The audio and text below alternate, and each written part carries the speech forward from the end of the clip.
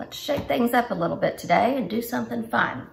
I have a big bowl of tomatoes and we're leaving town in a couple of days. So we're gonna take an old recipe that I've done and rework it a little bit to make this a faster, easier canning recipe. Welcome to Grow Preserve. I'm Carter. I'm thrilled you're here with me today. Let's get started. So early in Jessica's Every Bit Counts Challenge, I did for you zesty salsa straight out of the Ball canning book. So what I'm gonna do today, because I don't have the time to do all that chopping. I mean, that was a lot, a lot of chopping. It took hours to get that recipe done. Today, I'm gonna do it the speedy way.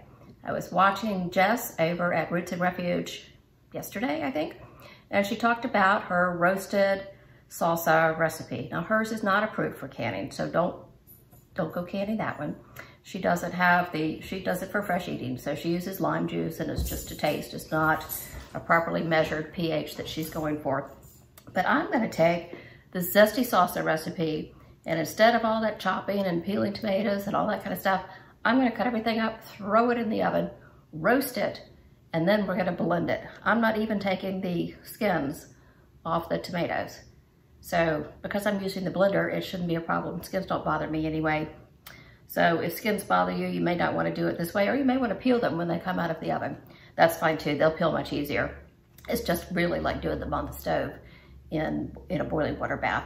So that's what I'm going to do. So I'm glad you're here with me. We'll go through it because, because I've done the same basic recipe for you before. I'm not going to make you sit through the whole thing again. This is just going to be really a highlights reel. I hope you'll stick around. I'm gonna make it fast and I'm gonna make it fun and I'll be back in just a minute. Okay, I have four trays in the oven. So that's the peppers, the onions, the garlic, and the tomatoes. So two trays down there. Two, hello, there, there I am. Two trays up there. So they are in there at 450 degrees and I think it's gonna be at least 30 minutes, maybe 45. I'll let you know when I pull them out of the oven. Okay, just breaking in here quickly to share some good news. While my salsa is still in the oven roasting, I got a notice from YouTube that I now have 20 subscribers. So tiny little milestone, but it feels monumental. I've been doing this for about three weeks now, and I wanna thank you so much. And please, if you're not subscribed yet, please take a moment, hit the like button, and subscribe and I'll look forward to seeing you again. Okay, I have blended everything. I brought it back up to temperature. I'm gonna bring you over here real quickly to see how this looks. Looks fantastic, it tastes fantastic. And then we're gonna get it into some jars and into the canner.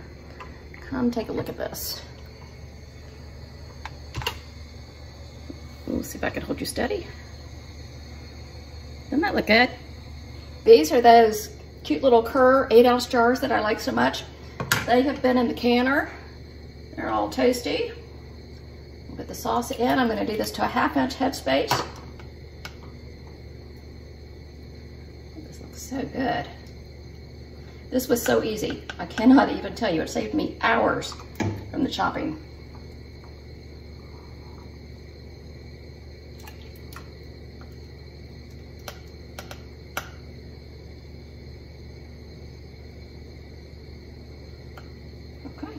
I'm gonna get the rest of these jars done.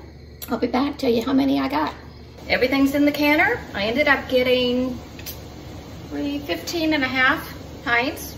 Obviously, I'm not canning the last half pint. In my original recipe, I had written in my book that I got 17 pints out of that. So this is obviously more condensed because it's been roasted and because it's been blended, but all my numbers, all the input numbers were exactly the same. So I'm excited about this. I have 12 in this canner. I had to quickly convert my small canner back into a small canner instead of the stock pot I was using to heat up the sauce. And that one is going, so I'll be back soon as soon as these are done. Oh, I tasted this stuff earlier and just to see if it needed anything. Whoa! I, I, I put a little more hot sauce in it than I did last time for my husband's sake, so he should be happy. And we're back. The salsa is done. It actually finished a few hours ago, but I had to run out for an appointment. So I wanted to show you that I ended up using these jars for what ran over the 12 jars I expected. So I think that these jars are so great. This is the Kerr eight ounce jar. I've only seen them at Walmart. And then this is a regular eight ounce jar. So I have 15 of those. So I wanted to tell you how great this turned out for me, for my time. Uh, personally, it probably took less than half of the prep time because I wasn't cutting all, I think it's 17 cups of vegetables. I wasn't dicing them by hand. That is the most time consuming part of salsa. So, you know, I cut everything in half or quarters, threw it in the oven and then blended it up. And even given the oven time, it took so much less time. It was crazy. There was no peeling the tomatoes. You know, I had no issues. My husband's already had, you know, the leftover little half a jar that I had and he loved it. So I, this may be the way I do it from now on. It, it doesn't have the fresh feel that the other one has. The other one, if the other one is pico, this one's salsa uh, kind of thing. So I think it's great to have both on the shelf. And now thanks to Jess at Three, Home, at Three Rivers Homestead, I have, I did 32 half pints of salsa so far this month, which is just, that's crazy. Now we've given away a couple of my husband's eaten one, so I think I have 29 on the shelf. And I, I'm thrilled with that. So thank you so much, Jess, for all the inspiration to get everything I possibly can preserved this month. I, I certainly, I needed the kick in the pants. it really worked. And then the second thing is I want to thank the other Jess over at Roots and Refuge for reminding me yesterday about her fabulous roasted salsa recipe, uh, which is, is not the canning version, but it reminded me that I could probably do something similar with an actual approved canning version. And it was a dream. It was an absolute dream.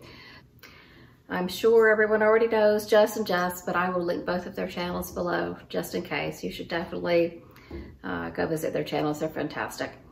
So I want to thank you again for being with me today. I'm going to link some other videos that uh, you might also find interesting. And I'll definitely link the original salsa recipe without all the roasting, but with all the chopping.